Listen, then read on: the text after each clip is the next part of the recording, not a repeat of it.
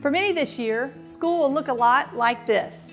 Your cafeteria, classroom, and playground, at least part-time, will be located right in your own home. Shriners Hospital for Children Greenville specializes in over 85 different orthopedic conditions.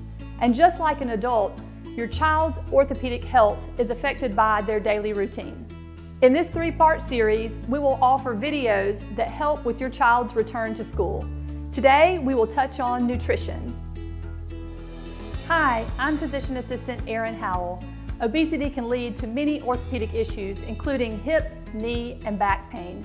Nutrition plays a significant role in combating childhood obesity.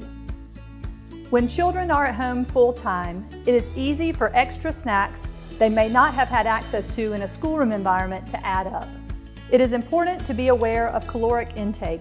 The American Heart Association recommends the following guidelines to combat childhood obesity. For females ages 4 to 8, they recommend 1,200 calories, as opposed to males who need 1,400 calories. For females ages 9 to 13, 1,600 calories. For males, 1,800 calories. For females ages 14 to 18, they recommend 1,800 calories. For males, 2,200 calories per day. To help kids avoid overeating, establish a schedule, just like they would have in school. Have a list ready of approved snack items that guides your child to healthy choices. Instead of packaged snacks, aim for easy, nutrient-rich options paired with healthy fats so that they are both filling and nutritious. Three options that check all of these boxes are carrots and guacamole, celery and hummus, and apples and peanut butter. Ideally, you look for brands of peanut butter that do not include sugar. When there isn't a need to rush out of the door in the morning, it is easy to forget the importance of a bedtime routine for children. Research suggests, however, that there is a direct link between insufficient sleep and obesity. The National Sleep Foundation recommends the following.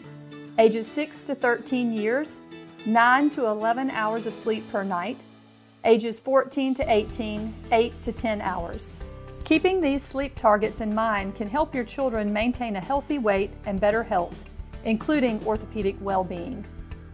At the Greenville Shriners Hospital, helping your child with their orthopedic health is our mission. We hope that this information has been helpful to you and your family this school year. Be sure to view the other two videos in this series to learn about exercises for your child as well as how to set up an ergonomic school workspace.